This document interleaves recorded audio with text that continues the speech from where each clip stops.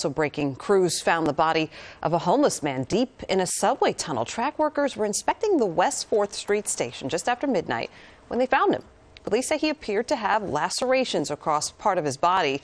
The medical examiner is investigating cause of death. Later this morning, a city council committee will hold a